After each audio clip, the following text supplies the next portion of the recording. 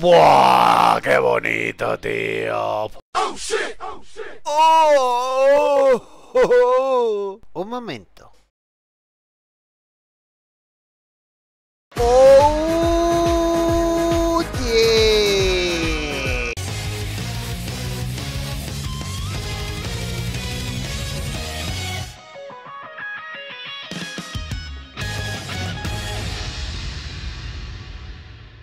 Bueno, bueno, bueno gamers, ¿qué pasa? Bienvenidos a un nuevo vídeo de reinicio de este quinto aniversario y tenemos novedades a la espera de que ya venga la tercera parte. Tenemos fresquito el banner de los gammas, tenéis videitos en el canal respecto a ellos, se vienen los showcase también, pero no hay que dejar de hacer lo que hacemos cada semana. Tenemos cositas que analizar y que vamos a analizar en el presente videito. Y es que como novedad principal, lo tenéis en el overlay, hoy hemos recibido la llegada de la transformación en blue del protagonista de Dragon Ball Legends, Charlotte, que después de tres años está recibiendo actualizaciones y eso es bastante bien. Ahora iremos a ver las habilidades porque ya lo hemos desbloqueado y tengo que deciros que subiré un videito con esa parte de la historia para que veáis todo el Royamen para desbloquear a este Charlotte Blue. Primero que nada, como habéis visto en la introducción también, vuelve Gogeta Blue Ultra en el banner Ultra al uso de este Gogeta Blue, del cual me alegro porque yo ya lo tengo al máximo, a 14 estrellitas. Gracias a la suerte y gracias, pues sobre todo, a la suerte. Tenemos nuevo Zenkai, se esperaba que no viniera hoy, pero al final ha venido hoy el Zenkai de 17 y luego iremos a ver su Gauntlet y a ver sus eh, nuevas habilidades. La parte 14 de la historia ya se ha actualizado al libro 5, que es donde desbloquearemos al señor Salot Blue. Y tenemos nueva raid de aniversario, que podremos ver ya en detalles con los personajes que tendréis bufados tanto en probabilidad, incluyen al Gogeta Blue Ultra, como en dropeo de monedas, que no cambia mucho salvo los personajes finales. Ahí tenéis al Gogetita Ultra, que me va a dar 20 moneditas, que no está nada mal, y los personajes de movies de abajo, incluyendo a Bojack y a Janemba. Ya sabéis que podéis veniros a esta pestañita para ver qué personajes tenéis para usar. Y aquí vuelve la androide verde free to play, la 18 free to play, que en su día me dio muchísimas alegrías. Y el Vegetita y el Goku de la chaquetita, de la película de Super Broly. Así que ya tenéis más free to plays que farmear. Tenemos platino para Sparking no LF nuevo, en este caso el afortunado es Vegeta Goth. Tenéis aquí las stats, que son una absoluta burrada, pero cuya opinión ya sabéis cuál es, la opinión mía ya sabéis cuál es, que es eh, insuficiente como para resucitar a un personaje. En su día este Vegeta se usó mucho en el tag de Gozki con el Goku Blue, que ha recibido también platino últimamente, pero yo considero que estos platinos no resucitan a los personajes, por mucho que este Vegeta sí que tenga un cover, no creo que sea suficiente como para volverlo a llevar a un meta en PvP. Desde ayer, que tengo que comentarlo, tenemos el evento de la peleita diaria con los tickets de 10% del F. Esto es una pelea diaria. Iréis desbloqueando una fase por día que durará un total de 3 días, que obviamente estará orientada a usar los personajes nuevos de, aniversario. Completando cada pelea, obtendréis un ticket de LF al 10%, con 10% de probabilidad de obtener un LF, y cuando los tengáis todos, pues podréis gastarlos en las summons a modo de multi o a modo de single, ya como vosotros decidáis. Y ahí teníais los LFs que incluye el banner.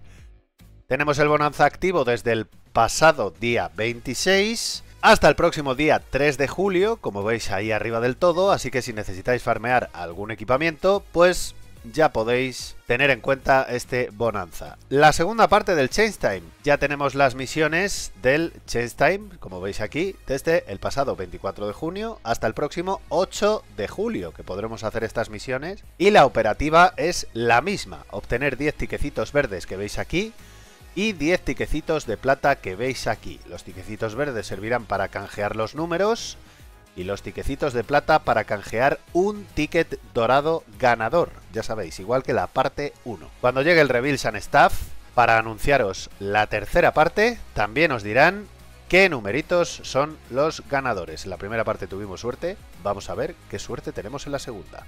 Y nos vamos a eventos para ver qué eventos tenemos nuevos en la pestaña de recomendados. Tenemos la nueva Raid, que ya hemos visto los personajes que se pueden usar.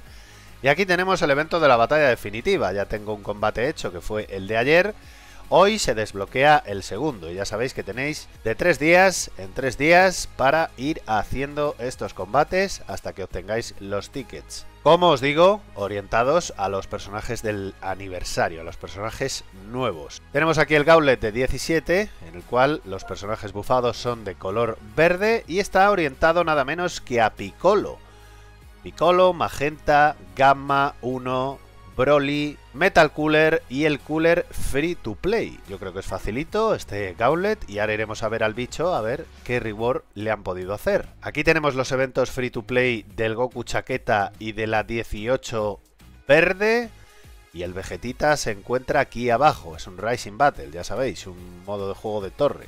En cuanto a las misiones, misioncillas, misioncillas eh, buenas y maravillosas. Primero que nada, en especial, tenemos aquí las misiones de Shalot, de refuerzo de Shalot, que en mi caso son dos titulitos, completar la parte 10, libro 3, capítulo 9, y la parte 14, libro 5, capítulo 7, es básicamente desbloquear al Shalot Blue y ya estaría.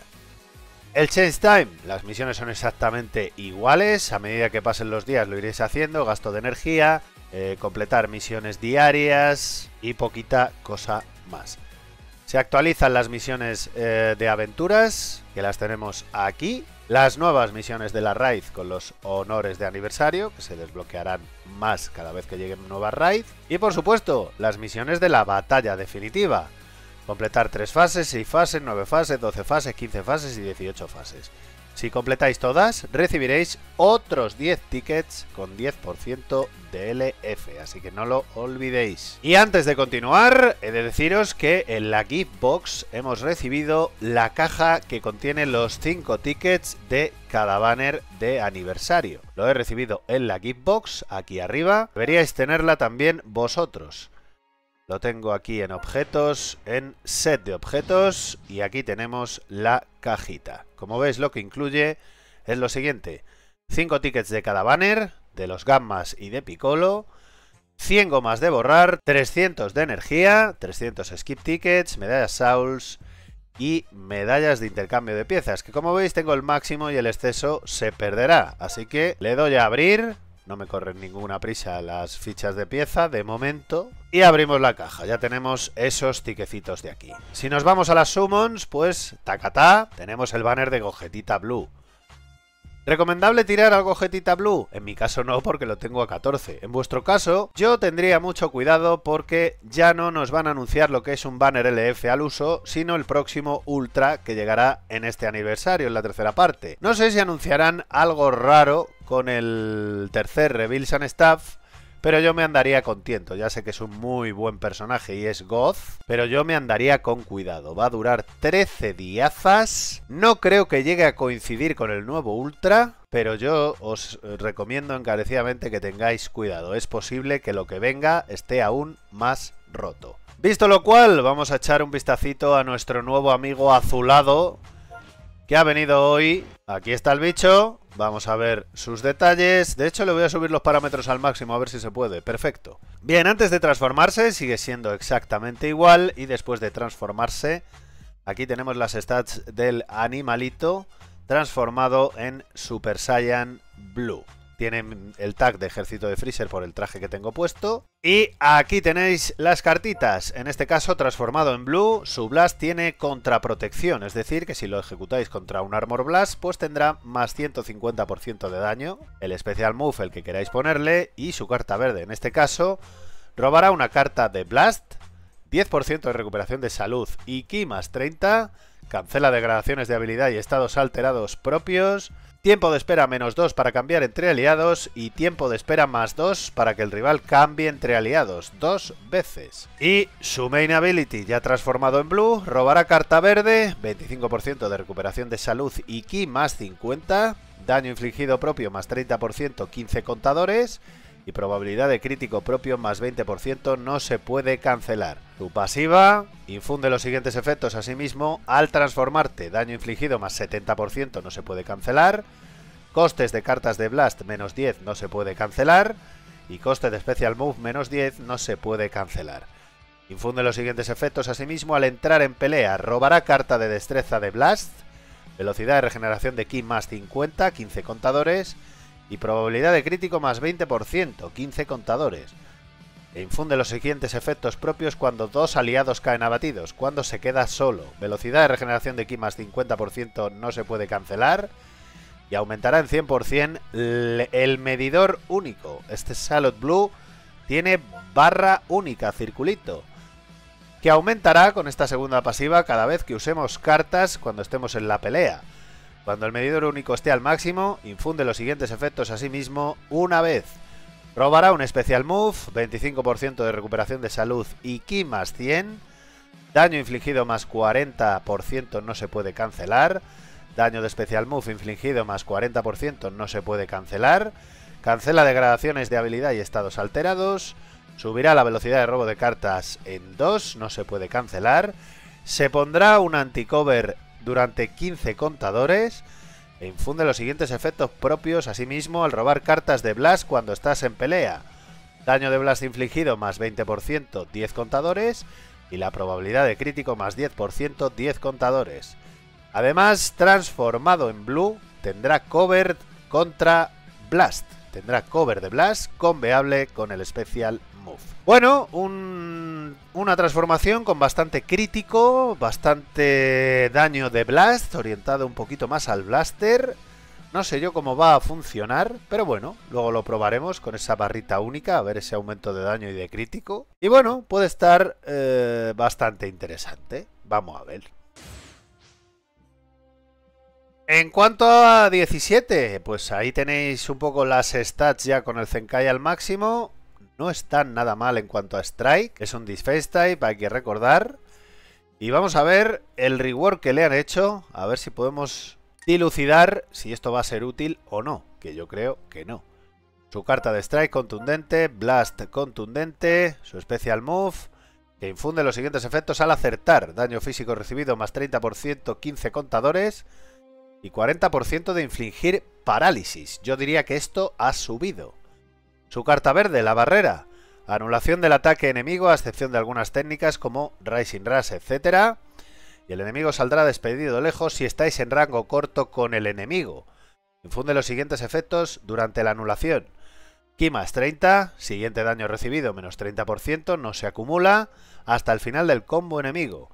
Y daño físico infligido más 30% durante 40 contadores, conveable con Strikes y con Blast. Su main ability ahora robará carta verde, 30% de recuperación de salud, velocidad de robo de cartas más 1, 15 contadores, Ki menos 60 para el rival, enfunde a todos los enemigos daño recibido más 35% durante 30 contadores.